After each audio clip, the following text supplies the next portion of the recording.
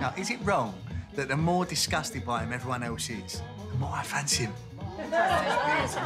We fancy idiots. It's a curse. Did she just call me an idiot? Well, if the veil fits.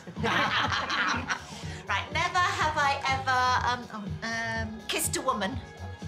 Not that I'm against it, you know, of course. I mean, it would just depend on the right ambience and, well, woman, of course. Not even in prison, Stacey. No! Oh. oh, well, bottoms up. Mum!